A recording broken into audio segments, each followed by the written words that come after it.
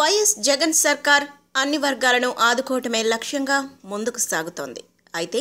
ఈ క్రమంలో ఆయన హామీలు కొనసాగుతూనే ఉన్నాయి కొత్త హామీలకు తోడు గతంలో ఇచ్చిన హామీలను ఎప్పటికప్పుడు నిలబెట్టుకునే ప్రయత్నం చేస్తున్నారు తాజాగా గతంలో ఇచ్చిన ఓ హామీని అమలు చేశారు వైఎస్ జగన్ అదేంటంటే జూనియర్ న్యాయవాదులకు ఆర్థిక సాయం అందించేందుకు వైఎస్ఆర్ లా నేస్తం పథకాన్ని జగన్ ప్రారంభించారు తాడేపల్లిలోని క్యాంపు కార్యాలయంలో ముఖ్యమంత్రి జగన్మోహన్ రెడ్డి ఈ పథకాన్ని లాంఛనంగా ప్రారంభించారు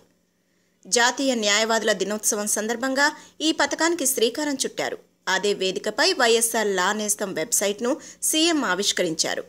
లా పూర్తి చేసిన వారు న్యాయవాద వృత్తిలో స్థిరపడే వరకు మూడేళ్ల పాటు నెలకు ఐదు వేల చొప్పున రాష్ట్ర ప్రభుత్వం సాయం అందిస్తోంది ఈ పథకాన్ని రెండు వేల పదహారు తర్వాత లా పరీక్ష ఉత్తీర్ణులైన వారికి వర్తింపజేస్తారు ఈ మేరకు ఇప్పటికే విధి విధానాలు మార్గదర్శకాలు జారీ అయ్యాయి దేశంలో ఇలాంటి స్కీమ్ ప్రవేశపెట్టడం ఇదే ప్రథమం దేశంలో ఎక్కడా లేని విధంగా జూనియర్ న్యాయవాదులకు నెలకు ఐదు వేలు స్టే ఫండ్ ఇవ్వటంపై ముఖ్యమంత్రికి న్యాయవాదులు ధన్యవాదాలు తెలిపారు ఇదే సమయంలో వైఎస్ న్యాయవాదులకు మరో వరం ప్రకటించారు న్యాయవాదుల సంక్షేమ నిధికి